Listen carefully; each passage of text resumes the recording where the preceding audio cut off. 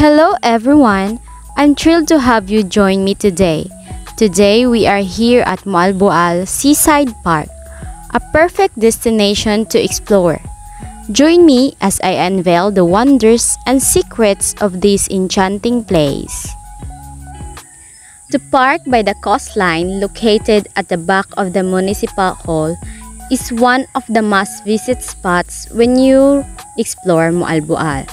It features a beautiful expanse of greenery with seats and gazebos where you can relax. The park is strategically situated near the sea, making it enjoyable even on hot days.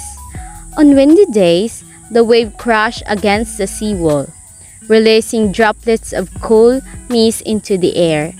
The park is a perfect place for families friends, and tourists seeking a tranquil time.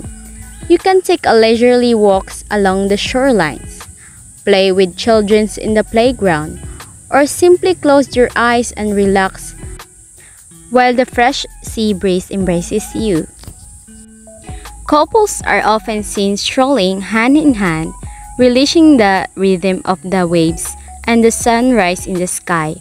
It's not a wonderful opportunity to try traditional dishes of the region while surrounded by the park's lovely ambience.